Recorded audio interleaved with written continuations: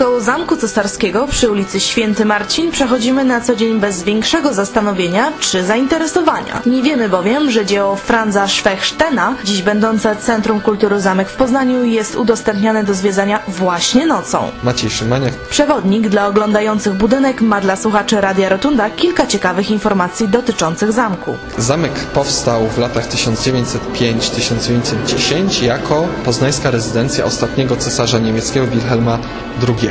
W okresie międzywojennym służył przede wszystkim Uniwersytetowi Poznańskiemu, a dawne apartamenty były apartamentami dla prezydentów Rzeczpospolitej. W czasie II wojny światowej cały zamek był gruntownie przebudowany, gdyż miał się stać jedną z rezydencji Hitlera. I w, tym, w tej formie przetrwał do naszych czasów. Gdy już znajdziemy na stronie internetowej www.zamek.poznan.pl datę, kiedy zwiedzanie budynku jest możliwe i wyskrobiemy z portfela kwotę 15 zł, śmiało ruszajmy naprzeciw wyzwaniu. Co oprócz 80-minutowego zwiedzania i oglądania pomieszczeń, sal, gabinetów w towarzystwie muzyki na żywo możemy dowiedzieć się o zamku. Ponad 25 tysięcy metrów kwadratowych, ponad 580 pomieszczeń, ponad setka ludzi pracujących tutaj, wieża, która powinna mieć ponad 70 metrów wysokości, ma w tej chwili trochę ponad 50 metrów wysokości.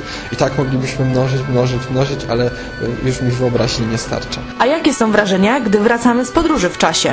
Bardzo fajnie, to znaczy jesteśmy trochę em, tacy rozgrzani, chcielibyśmy trochę więcej, bo bardzo nam się podobało, ale podobno nie ma piwnic. Czy Ogólnie ten obiekt jest fascynujący, bo jest zrobiony w takim surowym stylu, bardzo poważnym, takim niewspółczesnym, e, tylko właśnie no, naśladował ten, e, to średniowiecze. Zwiedzanie było całkiem interesujące.